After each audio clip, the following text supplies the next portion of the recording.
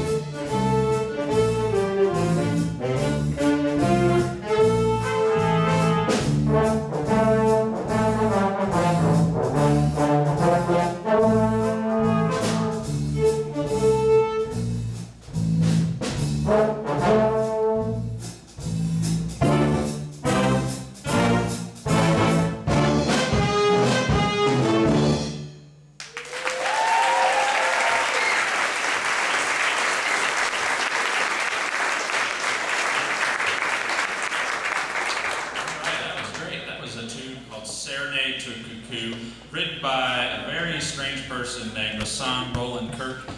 He was a very interesting person, jazz musician in the 1970s, and he was known for playing very many instruments. He strapped on a tenor saxophone, and he'd play the flute, and then he'd even have recorders on there. He was a very odd guy, but uh, he wrote that song. And if you don't know what a cuckoo is, uh, it's another way of saying chicken. And uh, if any of you know the song Birdland, you may know that song? You might have noticed a, a minor alteration of that hidden in there with the trumpets. Uh, if you're, if you're big into that sort of stuff. Um, and that featured uh, Miranda Hybe on the trumpet.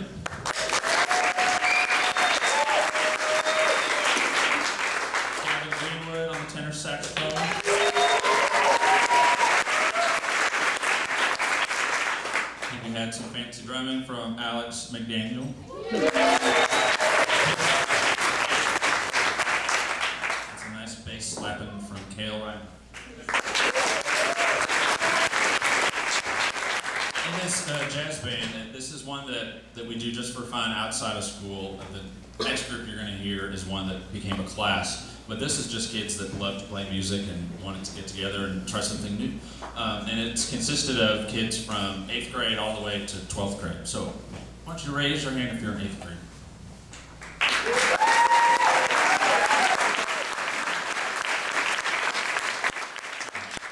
And high schoolers, raise your hand.